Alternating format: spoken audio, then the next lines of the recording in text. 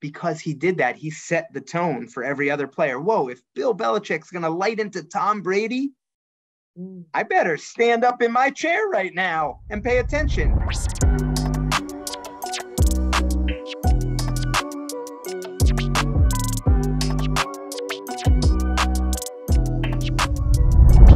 Well, Mike, thank you so much for jumping on. It is time to go straight to the source, as in the source for New England Patriots news and information for the past 26 years. That is a long time to be with one team. He is ESPN's NFL Nation Patriots reporter, Mike Reiss. Of course, I'm Erin Coscarelli with BVM Sports. So you joined the Patriots all the way back to 1997, which means you were there during the Pete Carroll era. Uh, you preceded the Tom Brady Bill Belichick marriage uh, by a few years. But when you look back at your experience, of course, covering one of the most successful dynasties uh, to do it, of course, in the past history, you've got nine Super Bowl appearances, six world championships. Uh, what for you, Mike, would you say stands out to you the most? Erin, the long seasons. You know, you mentioned those Super Bowl championships, right? and the division championships, they would consistently be playing, you know, into late January, early February. So, you know, the championship moments obviously always stand out. Um, I always go back to Tom Brady. You know, he played, think about this, he played 41 playoff games as a member of the Patriots. So everyone says, oh, he spent 20 seasons with New England. And I would say it was really 22 and a half because yeah. he played two and a half extra seasons. And Erin, I'll never forget after one Super Bowl, it would, you know, early February, like I get home, it's like a long grind. And a couple weeks later, I got the, the suitcase packed by the door. And my wife says to me, like, where are you going? I said, it's the combine. And she goes, the season just ended. Like, what are you doing? Like, and it was like, those so those long seasons that's what stands out to me the most you almost become conditioned to know that your season's going from like the start of training camp in mid to you know late july to early february yeah which means you didn't have a lot of vacation time as a beat reporter for the patriots not a very long off season for mike Reiss. well i want to get to Bill Belichick, Tom Brady stuff a little bit uh, more. But first, I do want to talk about present day Patriots because there's a lot of question marks around the future of Mac Jones, right? Bill O'Brien said uh, it's a clean slate. He had a good rookie year, but has since sort of struggled. What do you think the future holds for Mac Jones and the now addition of Bill O'Brien to the team? So, the addition of Bill O'Brien is going to be critical um, to get Mac back on track. So, I think if you watched him you, you summed it up perfectly. In 2021, as a rookie, he was ascending. Mm-hmm. And everyone here in New England was like, this is great. First round pick, 15th overall. If you were to stack those five first round quarterbacks that year, Trevor Lawrence, Zach Wilson, Trey Lance, Justin Fields, Mac Jones, Mac might have actually been, you know, one of at the time actually they were saying maybe better than Trevor Lawrence. But we see how that's flipped because Mac regressed in his second year, Trevor Lawrence elevated. So basically, Erin, like what I see is they're trying to do what the Jaguars did for Trevor last year with a new coach, new system, get him back to what they think he can be. And they feel confident they can get him there. What do you think happened? Why do you think he regressed? So so much so many things. So start with Josh McDaniels, the offensive coordinator, leaving to become Raiders head coach. Bill Belichick makes a decision and says, we're going to do a pretty much a whole new offense. Mm. We're going to hire two coaches to sort of lead that offense, and Matt Patricia and Joe Judge, whose primary backgrounds in the NFL were never on offense. Put all those things together, coupled with Mac himself. Like there were some things Mac could have done better himself. And it's sort of all the ingredients come together to lead to the regression that we saw. I look at this team and it's almost like when I was at USC, it was the national championships year after year. You had this high expectation. And like you said, Mike, eight and nine. It is very unlike the Patriots dynasty we've seen. Who do you feel is feeling the most burden to bring this team back to what it was? Bill, O'Brien, Belichick, Kraft, Mac? Yeah, I, I think they all share a little bit in that. For me, I sort of go the common sense route. And I say, if I'm Bill Belichick and I just sort of look at the facts, since Tom Brady left, the team is right around 500 with no playoff victories. Coming off a season in which his own decisions with the offensive coaches led to a product that was, I would say, below the standard offensively than we've been accustomed to seeing in New England.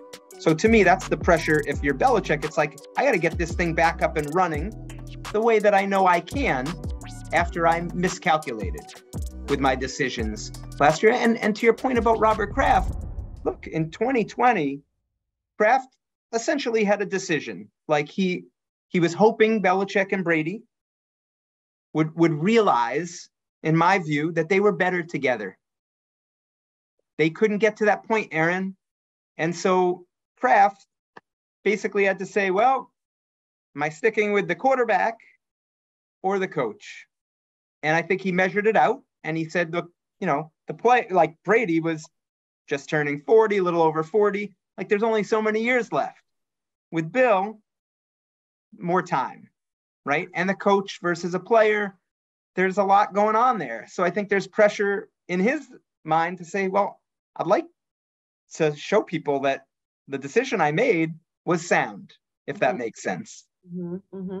I'm going to ask you a controversial question because the Patriots have only gone to the postseason once since Brady's departure. I don't think that Kraft made the wrong decision, like you mentioned, all of those reasons, an aging quarterback. Although Bill is 71, and I want to get to what you think his moves are going to be in the future. But what caused the division in their relationship? Because there was something there, right? With Alex Guerrero not being able to be on the plane. You know, there was some kind of, was it ego? Was it miscommunication? Was it a lack of appreciation? What caused this division? And you've been with the team for well over 20 years, so you know this team inside and out. When, when did you start to see that there was some issues there with head coach and, and QB? So Erin, it's a it's in my view, it's a combination of a little bit of everything, right? I mean, some of the things that you mentioned, some of it's just time. Mm-hmm. Like 20 years is a long time when you're the alpha coach and the alpha quarterback mm-hmm. to be together. And my view of it is that Tom Brady, for a long time, was an uncommon superstar, willing to put himself in a lower category, allowed, I don't want to say allowed, but took the grief and the, the constant competitive stamina. And because he did that, he set the tone for every other player. Whoa, if Bill Belichick's going to light into Tom Brady, I better stand up in my chair right now and pay attention. And I think after 20 years, like sometimes you think to yourself like yeah maybe a little more appreciation or maybe a little less you know like or maybe i just want to hear a different voice and on the other side if you're bill maybe you you look at it and say maybe uh, i could have pulled back a little bit or maybe could i have done something like so there's a lot going on there right that would we would need more time to really get into it but i think it's a combination of everything that you mentioned yeah, it's a really interesting relationship. If you really deep dive it into these two madmen who are so driven by competition, by winning, and what really happened behind closed doors, we'll never really know.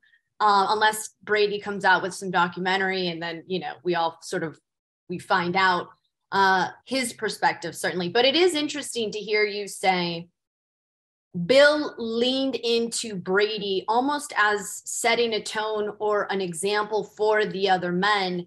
And you wonder how Bill evaluates that now, right? Because he was so hard on his son, if you will, and maybe it was a good thing and, and maybe it wasn't.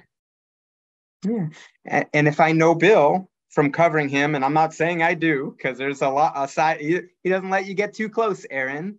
I, I think he would say no regrets. Mm-hmm. No player is bigger than the team and the program. And it will always be about the team. And that every his intention with every decision he would say to this day was true. And he's not always going to make the right decision. But at the time that he made the decision, you know, he felt that way. And I would just flip it around, Erin. Like if he said, if he went to Tom, Tom, it's important to me that you finish your career as a Patriot. What do we need to do?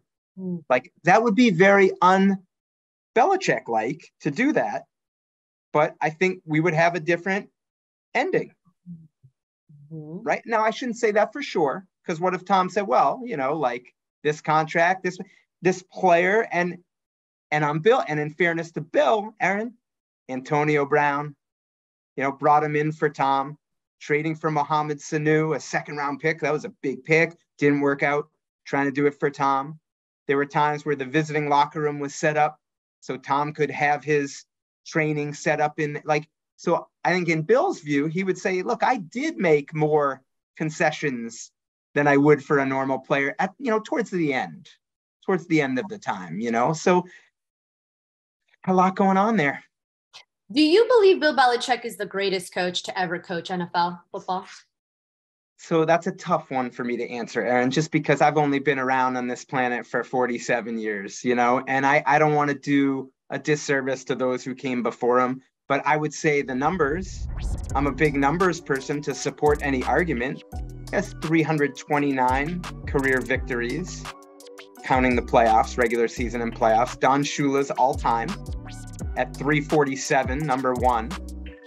I think he's going to pass him because I don't see an end right now in sight for Bill. 71, as you mentioned. Um, so to me, if he passes Don Shula for all-time wins list, a strong case to be made. He's the greatest of all time. You can I, that would be an argument I would be comfortable making. I like that argument. It's very politically correct, but you're right. Let the numbers do the talking. One of Bill's most incredible skill sets as a coach is being able to, like you said, evaluate talent. Like he's brought in guys that were struggling on other teams, and he's obviously researched them and they've become very talented and successful and uh, contributed a lot to the success of post uh, past teams. What is it about Bill? Do you think that he is so good at evaluating men who other teams think are just uh, you know guys that it's time to kind of move on from? A good question. Um, so I think a big part of it was his experience in Cleveland when he was the head coach there, 1991 to 95, and probably um, having a system and identifying players that would fit in that system. So I, I don't want to tell the story wrong, but I believe Scott Pioli, who was the vice president of player personnel for the Patriots in the early 2000s when they won their first three Super Bowls, who had a connection with Bill, tells a story about Warren Sapp. Great player coming out of college. But it was like he didn't necessarily fit what Bill Belichick's team was going to do. So they didn't have him rated as high. And there was almost like a reconciliation between, well, wait a minute, this guy's a great player, but we would be asking him to do something in our scheme that's different than what he was doing in college that made him a great player. Mm. So I don't know if I explained it well, Erin, but I think those that would be one thing I would say. Like those early career experiences for Belichick when he was young in the head coaching role, sort of set a foundation for him in not, you know, in valuing personnel and how it would fit in their specific system.